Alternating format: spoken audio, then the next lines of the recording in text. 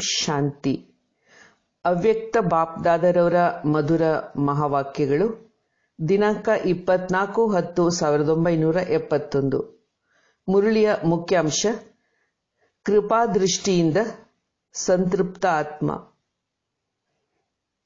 ನಿಮ್ಮ ಸ್ವರೂಪ, ಸ್ವದೇಶ, ಸ್ವಧರ್ಮ ಹಾಗೂ ಶ್ರೇಷ್ಠ ಕರ್ಮ ಮತ್ತು ಶ್ರೇಷ್ಠ ಸ್ಥಿತಿಯಲ್ಲಿ ಸ್ಥಿತರಾಗಿದ್ದುಕೊಂಡು ನಡೆಯುತ್ತಿದ್ದೀರಾ?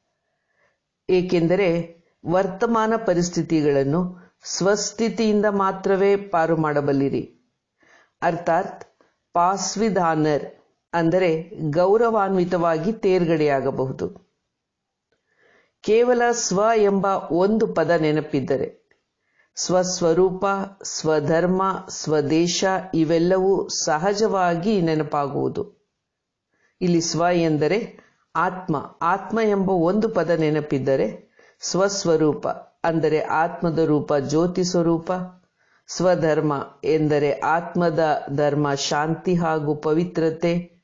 ಸ್ವದೇಶ ಅಂದರೆ ಆತ್ಮದ ನಿಜಧಾಮ, ಆತ್ಮಲೋಕ, ಅರ್ಥಾತ್ ಪರಂಧಾಮ, ಶಾಂತಿಧಾಮ. ಹೀಗೆ ಆತ್ಮದ ಸ್ಮೃತಿ ಇದ್ದಲ್ಲಿ ಆತ್ಮದ ರೂಪ, ಆತ್ಮದ ಧರ್ಮ, ಶಾಂತಿ ಹಾಗೂ ಆತ್ಮದ ನಿಜ ಧಾಮ, ಪರಂಧಾಮ ಇವೆಲ್ಲ ಸಹಜವಾಗಿಯೇ ನೆನಪಾಗುವುದು. ಹಾಗಾದರೆ ಈ ಸ್ವ ಎಂಬ ಒಂದೇ ಒಂದು ಪದ ನೆನಪಿರಲ ಸಾಧ್ಯವೇ? ಏಕೆಂದರೆ ಆತ್ಮಗಳನ್ನು ಸ್ವಸ್ವರೂಪದಲ್ಲಿ, ಎಲ್ಲ ಆತ್ಮರನ್ನು ಸ್ವಸ್ವರೂಪದಲ್ಲಿ, ಸ್ವಧರ್ಮದಲ್ಲಿ ಮತ್ತು ಸ್ವದೇಶದಲ್ಲಿ ಸ್ಥಿತಗೊಳಿಸಬೇಕಾದ ಅವಶ್ಯಕತೆ ಈಗ ಇದೆ. ಯಾವ ಕಾರಣಕ್ಕಾಗಿ ತಾವು ಅವತರಿತ ಆಗಿದ್ದೀರೋ, ಆ ಕರ್ತವ್ಯವನ್ನು ಒಪ್ಪಿಕೊಂಡ ನಂತರವೂ ಯಾರಾದರೂ ಮರೆಯುವರೇ? ಪ್ರಾಪಂಚಿಕ ಕರ್ತವ್ಯ ನಿರತರಾಗಿರುವವರು ತಮ್ಮ ಕರ್ತವ್ಯವನ್ನು ಮರೆಯುತ್ತಾರೆಯೇ? ಉದಾಹರಣೆಗೆ, ಡಾಕ್ಟರ್ಸ್ ತಮ್ಮ ದೈನಂದಿನ ಕೆಲಸಗಳಲ್ಲಿ ನಿರತರಾಗಿರುವಾಗ ತನ್ನ ವೈದ್ಯ ವೃತ್ತಿಯನ್ನು ಮರೆಯುತ್ತಾರೆಯೇ? ಇದೇ ರೀತಿ ನಿಮ್ಮ ಜನ್ಮ ಮತ್ತು ಕರ್ಮವೇ ಸರ್ವ ಆತ್ಮರನ್ನು ಸ್ವಸ್ವರೂಪ, ಸ್ವಧರ್ಮದಲ್ಲಿ ಸ್ಥಿತ ಮಾಡುವುದಾಗಿದೆ. ಹಾಗಿರುವಾಗ ತಾವೆಲ್ಲ ಬ್ರಾಹ್ಮಣ, ಅರ್ಥಾತ್ ಬ್ರಹ್ಮಕುಮಾರ, ಬ್ರಹ್ಮಕುಮಾರಿಯರು, ನಿಮ್ಮ ಕರ್ತವ್ಯವನ್ನೇ ಮರೆಯುವುದುಂಟೆ? ಇನ್ನೂ ಒಂದು ಮಾತೆಂದರೆ, ಯಾವುದು ಸದಾಕಾಲ ನಿಮ್ಮ ಜೊತೆಯಲ್ಲೇ ಹಾಗೂ ಎದುರಿನಲ್ಲೇ ಇರುವಂಥದ್ದು, ಅದು ಎಂದಾದರೂ ಮರೆತು ಹೋಗುವುದೇ ನಿಮ್ಮ ಅತಿ ಸಮೀಪದಲ್ಲೂ ಜೊತೆಯಲ್ಲೂ ಇರುವಂಥದ್ದು ಯಾವುದು? ಆತ್ಮಕ್ಕೆ ಸದಾ ಸಮೀಪ ಮತ್ತು ಜೊತೆಯಲ್ಲೇ ಇರುವಂಥದ್ದು ಯಾವುದೆಂದರೆ ಅದು ದೇಹ ಅಥವಾ ಶರೀರ. ದೇಹವು ಸದಾ ಜೊತೆಯಲ್ಲೇ ಇರುವ ಕಾರಣ ನಿರಂತರವಾಗಿ ನೆನಪಿರುವುದಲ್ಲವೇ? ಮರೆಯಲು ಪ್ರಯತ್ನಿಸಿದರೂ ಮರೆಯಲಾಗುವುದಿಲ್ಲ. ಇದೇ ರೀತಿ ಶ್ರೇಷ್ಠ ಆತ್ಮರಾದ ನಿಮ್ಮ ಸಮೀಪದಲ್ಲಿ, ಸದಾ ನಿಮ್ಮ ಜೊತೆಯಲ್ಲಿ ಯಾರು ಇರುತ್ತಾರೆ? ಬಾಪ್ದಾದ ಸ್ವಯಂ ಭಗವಂತನೇ ಸದಾ ನಿಮ್ಮ ಜೊತೆಯಲ್ಲಿ, ನಿಮ್ಮ ಸನ್ಮುಖದಲ್ಲಿ ಇರುತ್ತಾರೆ. ಜೊತೆಗೆ ಇರುವ ದೇಹ ಮರೆಯುವುದಿಲ್ಲ ಎನ್ನುವುದಾದರೆ, ಇಷ್ಟೊಂದು ಹತ್ತಿರದಲ್ಲಿರುವ ತಂದೆ ಏಕೆ ಮರೆತು ಹೋಗುತ್ತಾರೆ? ತಂದೆಯ ನೆನಪು ಮರೆತು ಹೋಗುತ್ತಿದೆ ಎಂದು ಇತ್ತೀಚೆಗೆ ಕಂಪ್ಲೇಂಟ್ಸ್ ಬರುತ್ತಿದೆ. ಜನ್ಮಾಂತರಗಳಿಂದ ಜೊತೆಗಿರುವ ದೇಹ, ದೇಹದ ಸಂಬಂಧ ನಿಮಗೆ ಮರೆಯುವುದಿಲ್ಲ ಎನ್ನುವುದಾದರೆ ಯಾರಿಂದ ಸರ್ವ ಸಂಪತ್ತು, ಸಮೃದ್ಧಿ, ಸರ್ವವೂ ದೊರೆಯುವುದೋ ಮತ್ತು ಸದಾ ಆತ್ಮ ಸಂಗಾತಿಯಾಗಿರುವರೋ ಅಂತಹ ಪರಮಾತ್ಮನನ್ನು ಏಕೆ ಮರೆಯಬೇಕು? ಆತ್ಮೋದ್ಧಾರಕ್ಕೆ ಏರಿಸುವವರು, ಉನ್ನತಿಗೆ ಏರಿಸುವವರು ನೆನಪಾಗಬೇಕು ಅಥವಾ ಪತನಕ್ಕೆ ಬೀಳಿಸುವವರು? ಅಪ್ಪಿತಪ್ಪಿಯಾದರೂ ನಮ್ಮನ್ನು ಬೀಳಿಸಿದವರು, ಕೆಡವಿದವರನ್ನು ನೆನಪಾದರೆ ಅವರನ್ನು ಮನದಿಂದ ತೆಗೆದುಹಾಕುತ್ತಿರಲ್ಲವೇ?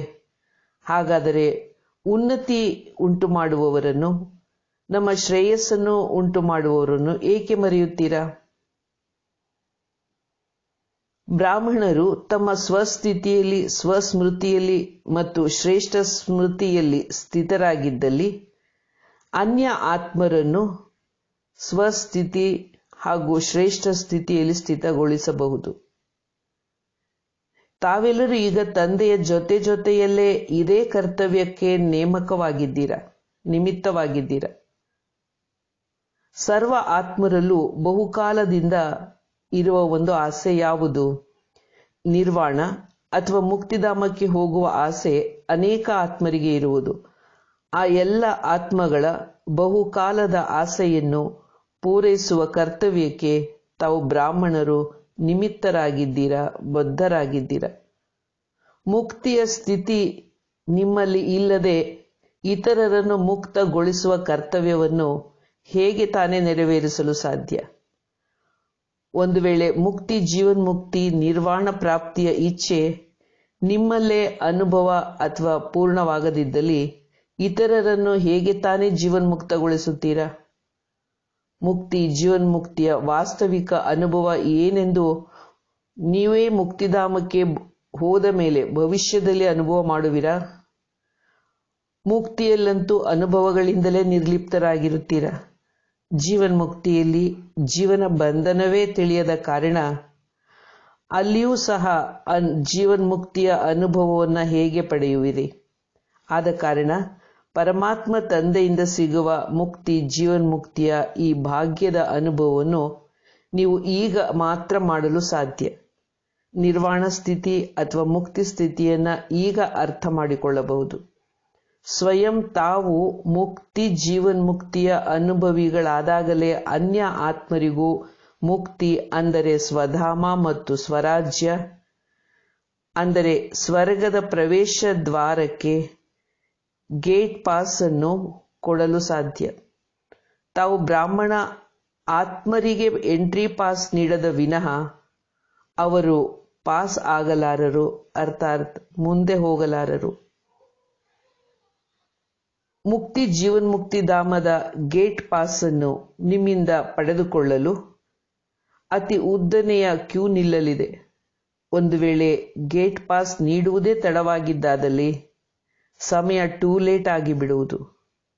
ಆದ್ದರಿಂದ ತಮ್ಮ ಸದಾ ಸ್ವಸ್ವರೂಪ, ಸ್ವಧರ್ಮ ಸ್ವದೇಶವನ್ನರಿತು ಸ್ವಸ್ಥಿತಿಯಲ್ಲಿ ಸ್ಥಿತವಾಗಿದ್ದರೆ ಕ್ಷಣದಲ್ಲಿ ಆತ್ಮರ ಮೇಲೆ ನೀವು ಕೃಪಾದೃಷ್ಟಿಯಿಂದ ಆತ್ಮರನ್ನು ಸಂತೃಪ್ತ ಮಾಡಬಲ್ಲಿರಿ. ನಿಮ್ಮ ಕಲ್ಯಾಣಕರವಾದ ಮನೋವೃತ್ತಿಯಿಂದ ಅವರಲ್ಲಿಯೂ ಸ್ವಸ್ಮೃತಿಯ ಜಾಗೃತಿ ಮಾಡಿಸುತ್ತಾ ಎಲ್ಲ ಆತ್ಮರಿಗೂ ಮುಕ್ತಿ, ಜೀವನ್ಮುಕ್ತಿಯ ಗೇಟ್ ಪಾಸ್ ಅನ್ನ ನೀಡಬಹುದು. ಅಸಹಾಯಕರಾಗಿ ಚಡಪಡಿಸುತ್ತಿರುವ ಆತ್ಮರು ಶ್ರೇಷ್ಠ ಆತ್ಮರಾದ ನಿಮ್ಮಿಂದ ಒಂದು ಕ್ಷಣ ಜನ್ಮ ಜನ್ಮಾಂತರದ ಮುಕ್ತಿಯ ಇಚ್ಛೆ ಪೂರೈಸಿಕೊಳ್ಳಲು ದಾನ ಕೇಳಲು ಬರಲಿದ್ದಾರೆ. ಮಾಸ್ಟರ್ ಸರ್ವಶಕ್ತಿವಂತರಾಗಿ ಒಂದು ಸೆಕೆಂಡಿನ ವಿಧಾನದಿಂದ ಆತ್ಮರಲ್ಲಿ ಸಿದ್ಧಿಗಳನ್ನು ಪ್ರಾಪ್ತಿ ಮಾಡಿಸಲು ಅಷ್ಟೆಲ್ಲ ಸರ್ವಶಕ್ತಿಗಳನ್ನು ಸಂಗ್ರಹ ಮಾಡಿದ್ದೀರಾ? ಹೇಗೆ ವಿಜ್ಞಾನ, ನಿಮ್ಮ ರಚನಾ ಶಕ್ತಿಯು ದಿನ ದಿನಕ್ಕೂ ಸಮಯದ ಮೇಲೆ ಜಯಗಳಿಸುತ್ತಿದೆ ಪ್ರತಿಯೊಂದು ಕಾರ್ಯವು ಅತಿ ಕಡಿಮೆ ಅವಧಿಯಲ್ಲಿ ಮುಗಿಸುವ ವಿಧಾನದಿಂದ ಕಾರ್ಯಸಿದ್ಧಿಯನ್ನು ಪಡೆಯುತ್ತಿದೆ. ಸ್ವಿಚ್ ಆನ್ ಮಾಡಿದರೆ ಸಾಕು. ಕಾರ್ಯಸಿದ್ಧಿಯಾಯಿತು. ಇದೇ ವಿಧಾನ ಅಲ್ಲವೇ? ಹಾಗಾದರೆ ಮಾಸ್ಟರ್ ರಚಯಿತರಾದ ತಾವು ಸೈಲೆನ್ಸಿನ ಶಕ್ತಿ, ಸರ್ವಶಕ್ತಿಗಳಿಂದ ಒಂದು ಕ್ಷಣದಲ್ಲಿ ಯಾರಿಗಾದರೂ ಸಿದ್ಧಿಯನ್ನು ನೀಡಲು ಆಗುವುದೇ? ಈಗ ಇಂತಹ ಶ್ರೇಷ್ಠ ಸೇವೆಯ ಅವಶ್ಯಕತೆ ಇದೆ.